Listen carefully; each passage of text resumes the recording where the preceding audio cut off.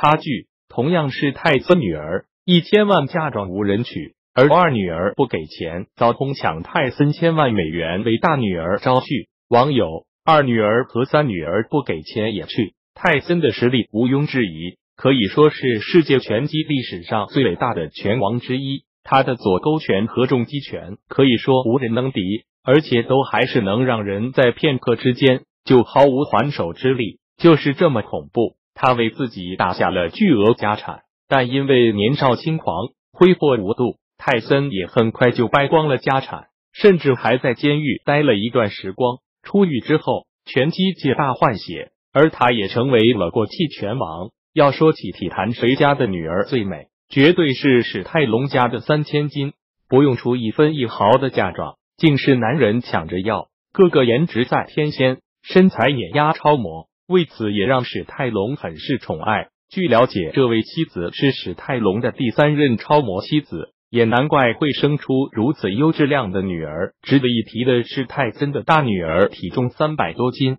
一看就像是亲生的。也许是因为小的时候吃的太好，才导致身材格外突出。为此，到一定年纪的大女儿可让泰森愁坏了，于是便想出一千万嫁妆的事情，只是还是无人问津。谈及女婿标准，泰森表示希望能不欺负女儿，对女儿好就行。看到这，网友表示这吨位一般人欺负不了。离谱的是，泰森还准备让大女儿进军胖模行业发展，以谋的出路，寻找到如意郎君。据了解，泰森的二女儿在体育界很知名，并且追求者都排成队，同是一个大妈，怎么差距就这么大呢？不过，据说泰森的大女儿可是一个非常受欢迎的人，很多人想追她。泰森也担心他会遇到一个不靠谱的人，但网友却认为能敢于和泰森女儿在一起的，一定都是真爱。现在的泰森已经没有了往日抵挡年少轻狂，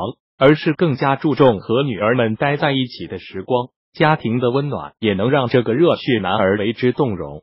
等到他真正拥有儿女之后。才知道真正的幸福其实就是这样简简单单。对此你们怎么看呢？换做是你，你会娶她吗？